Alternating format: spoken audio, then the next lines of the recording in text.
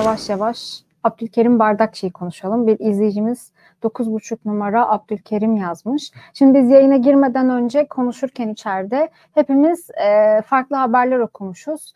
E, işte Abdülkerim Bardakçı Bayern Münih, Abdülkerim Bardakçı Chelsea, Abdülkerim Bardakçı Milan diye Avrupa devlerinin e, gözü onun üzerinde zaten. Hani çok uzun zamandır da biliyoruz bunu.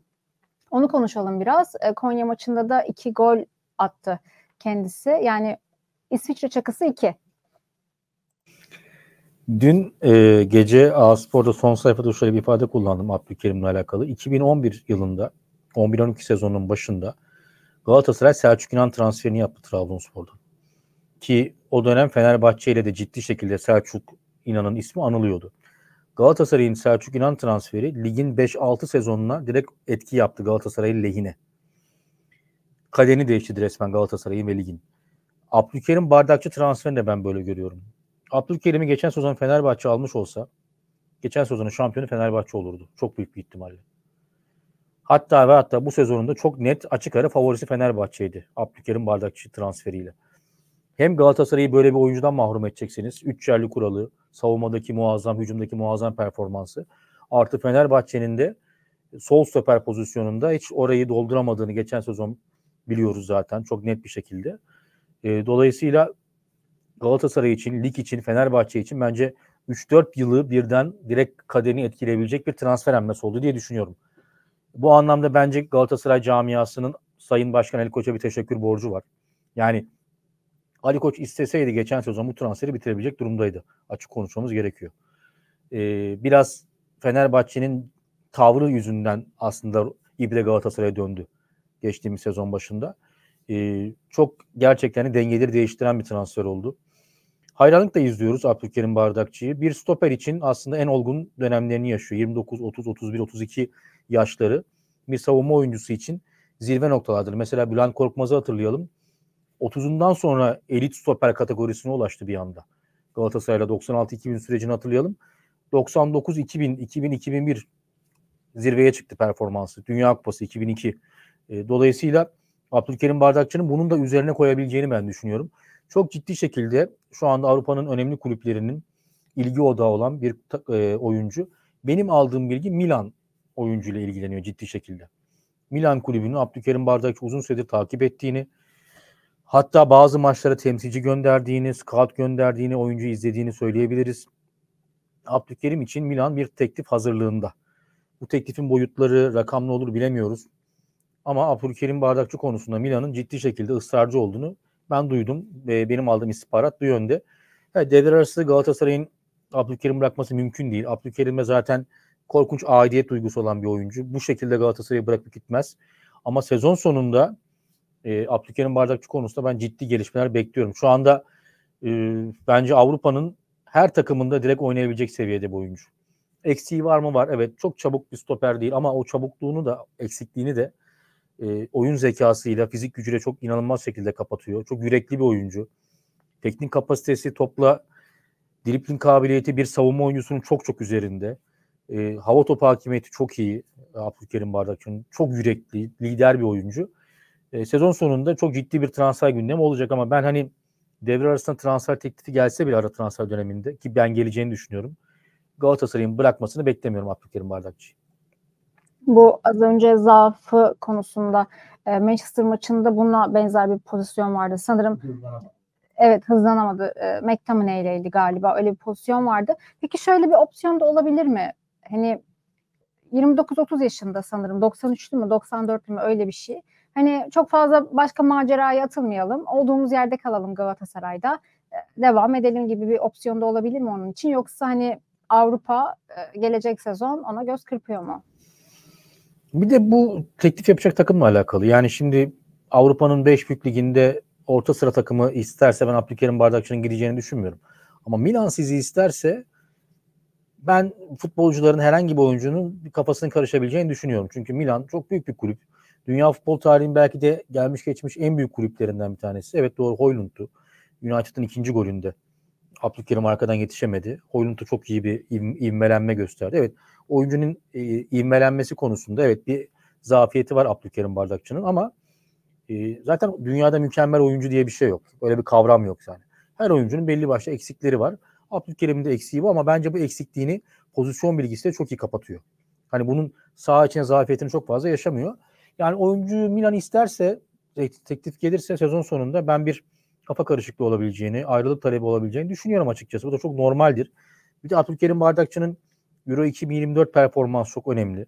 Şu anda milli takımımızın net şekilde birinci stoperi. Hani yanında kim oynayacak biz onu tartışacağız şu anda. Yani partneri belli değil şu anda ama ilk 11'e Montella'nın yazacağı 3-5 net oyuncudan bir tanesi Abdülkerim Bardakçı şu anda. Ve bu adam e, Kunz döneminde oynatılmadı hiç ya milli takımda. Kadroya dahi alınmadı. İnanılmaz bir haksızlığa uğradı. Bozmadı moralini buna rağmen. Çok iyi çalışıyor. Çok çalışkan bir oyuncu gerçekten de. Bunu söyleyelim. Hani ben kimle konuşsam Abdülkerim Bardakçı ile alakalı hep şunu söylüyor. İnanılmaz bir profesyonel, inanılmaz çalışkan bir oyuncu. Ki zaten profesyonel olamazsanız bu performansı bu kadar istikrarlı şekilde sahaya yansıtamazsınız. Ee, dediğim gibi yani senin dediğin de tabii olabilir. Oyuncu Türkiye'de Galatasaray'da kariyerini sürdürmek de isteyebilir ama Milan tarzında seviyesinde bir kulüp isterse bence kafası karışır. Bayern Münih haberleri de doğru mu bu arada? Hani onların da bir ilgisi var mı? Ben duymadım Bayern Münih ile ilgili bir şey. Benim duyduğum Milan kulübünün oyuncuyla ilgilendiği. Başka kulüpler de var bu arada. Rusya'dan talipler olduğunu net bir şekilde biliyorum. Ama oyuncu Rusya'ya gitmek istemiyor. Ee, Milan'ı duydum. Onun dışında tamam takım duymadım ama mutlaka vardır tabii ki ilgilenen kulüp. Chatbox'a döneceğim ama Chatbox'ta da yine onunla ilgili bir soru vardı. Onu sormak istiyorum. Yine takvimin haberi bugün. Fofana. Daha önce de adanılmıştı Galatasaray'la. E, nedir de değildir işin aslı. Ona biraz değinebiliriz bence abi.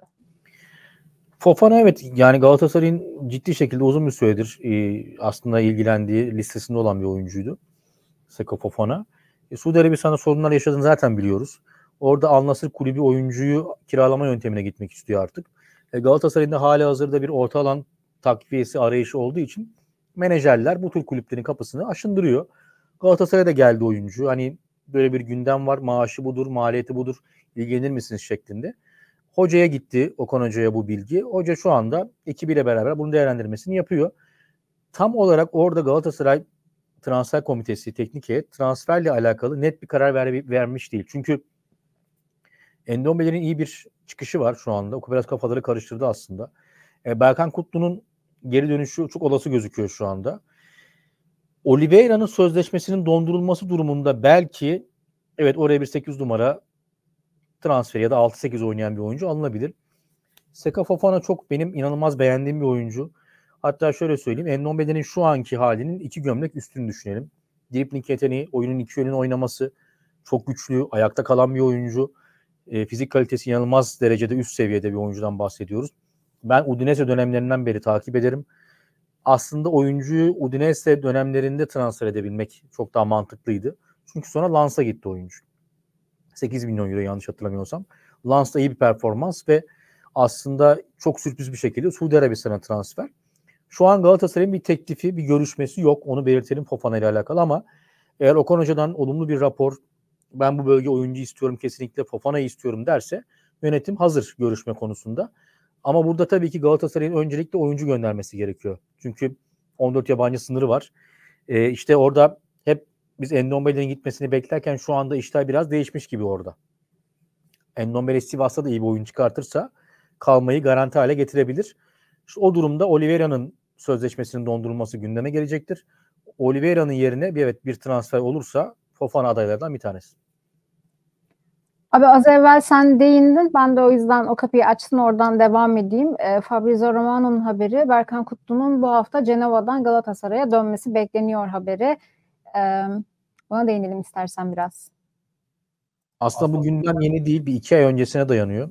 E, iki ay öncesinden aslında Galatasaray ve Berkan Kutlu arasında yeniden görüşmeler, temaslar başlamıştı. Çünkü Berkan orada oynayamıyor, mutlu değil. E, Galatasaray'da Berkan'ın ayrılığından mutlu değil. Yani çok ciddi bir şekilde zaten söylemiştik. Çok haksızlık yapıldı Berkan'a. Geçen sezonun X faktörlerinden bir tanesiydi. İki Fenerbahçe zaferinin baş mimarlarındandı Berkan Kutlu. Büyük maçları hep iyi oynadı. Ama çok haksız eleştiriler. Yerli oyuncular üzerine zaten böyle bir eleştiri bombardımanı hep oluyor. E, biraz negatif ayrımcılık var orada yerli oyunculara yönelik. E, Berkan da bunlardan nasibini aldı ve gitti. E, o da mutlu değil orada ve şu anda çok ciddi bir şekilde Berkan Kutlu'nun dönüşü düşünülüyor. Ben Galatasaray'ın çok ihtiyacı olduğunu düşünüyorum Berkan Kutlu'ya. 6 numarada 8 numarada yerli oyuncu olarak, hamle oyuncusu olarak büyük maç performansıyla Berkan her zaman Galatasaray'ın kadrosu içinde olmalı. Ben taraftarların da buradan bir ders çıkardığını, öz eleştiri yaptığını düşünüyorum. Okuyorum, konuşuyorum. Yani Berkan'ın dönüşü aslında e, oyuncu üzerine çok daha olumlu bir hava estirebilir. Çünkü gittiği günle bugünkü gün arasında e, Berkan'a bakış açısında ciddi bir değişim oldu. Yani taraftarların büyük bir kısmı evet biz hata yaptık ya Berkan'ı eleştirmekte keşke Berkan bu takımda olsaydı dedi defalarca. O yüzden de Berkan Kutlu'nun dönüşü her taraf içinde hayırlıymış gibi duruyor ve çok olası şu anda dönüş. Hemen chatbox'a dönüyorum ben. Ali Bey sormuş. Demiş ki orta saha ve sol bek için ara transferde e, transfer yapılacak mı? Ve sık sık da sorulan hani transferlerde netleşen isimler var mı sorusu. Bir yandan da böyle bazı iddialar var mali durumla ilgili. Netleşen transferler var mıdır? Orta saha, sol bek için ara transferde hamle yapılacak mı? Onu konuşabiliriz biraz. Bu arada e, bir izleyicimiz de sol bek oyuncusu Nuno Tavares, dribbling şut çok iyi demiş. Yani netleşen bölge şu an transferde çok net sol bek pozisyonu. Yani artık Angelinho'nun orada bir şekilde sözleşmesinin fesini ve geri gönderilmesini bekliyoruz.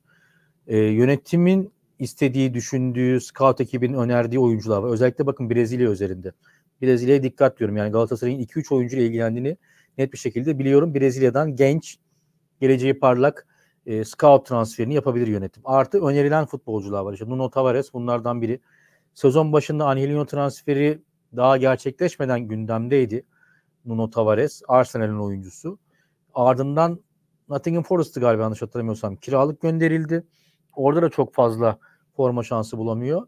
Yönetim o dönem Nuno Tavares'i çok fazla sıcak bakmıyordu. Okan Hoca da çok fazla sıcak bakmıyordu. Ama şu an gelinen noktada yeniden önerildi. Ama burada yönetimin ilk tercihi bir scout transferi yapabilmek. Genç oyuncu. Neden bunu söylüyorum? Çünkü siz en iyi oyuncuyu da getirseniz 3 yerli denkleminde Galatasaray'ın dönem dönem orada bir yerli sol bek oynatma ihtiyacı doğacak. Dolayısıyla gelecek olan sol bekin mutlaka yedek kalmayı kabullenebilecek bir sol bek olması gerekiyor. Bu da bir scout transferini çok da akla yatkın hale getiriyor ki Galatasaray'ın bence yeni bir Saşa Boya ihtiyacı var sol bekte. Yani genç, e, geleceği parlak ve ileride para kazandırabilecek, gelişime açık bir oyuncunun olması gerekiyor. Şu anda ilk hedef bu. Ama tabii ki önerilen futbolcular da var Galatasaray e, yönetiminde. E, ben bir, bir hafta 10 gün içinde bir sol bek hamlesi bekliyorum. İşte genç oyuncu Berkay konuşuluyor. Yine Almanya'da oynayan. E, Kazımcan'ın kiralık gönderilip e, Berkay artı bir yabancı sol bekle e, sol bek rotasyonunun değişmesi şeklinde. E, önümüzdeki günlerde bu konuda sıcak gelişmeler olacaktır ama Galatasaray'ın gözüken o ki bir ya da iki sol bek hamlesi olacak. Bir yerli bir yabancı.